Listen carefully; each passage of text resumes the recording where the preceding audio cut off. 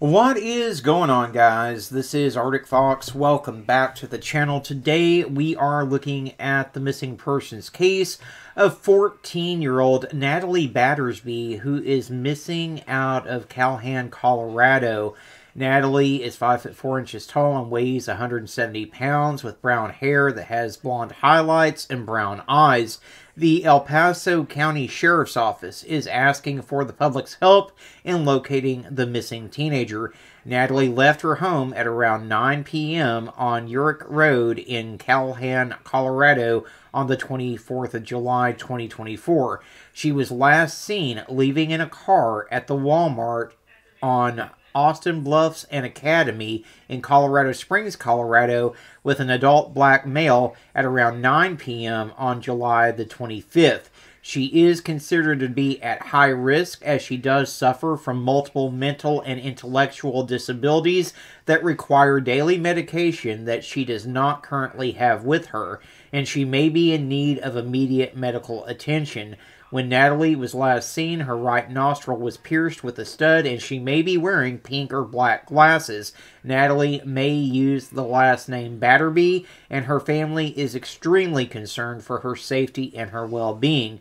Anyone with information on Natalie or her whereabouts is asked to contact the El Paso County Sheriff's Office at 719 390 5555 and reference case number 24 8622.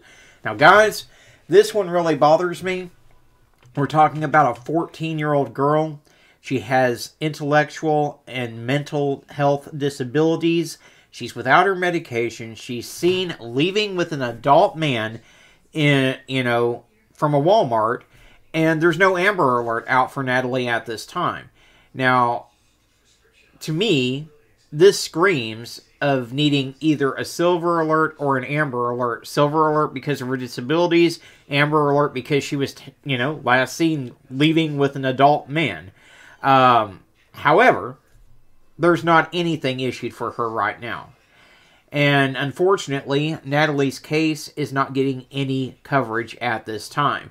So we do need to get her face out there on social media. Do me a big favor, give the video a like. It does help more people to see Natalie's face, and the more people that see her, the better the chances are that we can find her and we can bring her home safe.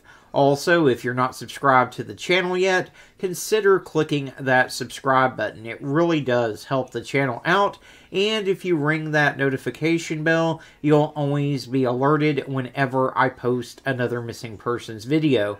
But the most important thing that I need for everyone to do right now is to simply click that share button, guys. Share this to your Facebook, your Twitter, your Instagram, wherever you have social media. It only takes one second of your time to do, and it can make all the difference in the world in whether we're able to find Natalie and bring her home safe or not. As always, guys, I do want to thank you so much for tuning in and watching. I appreciate each and every single one of you. Y'all be kind to one another out there, and let's bring Natalie home safe.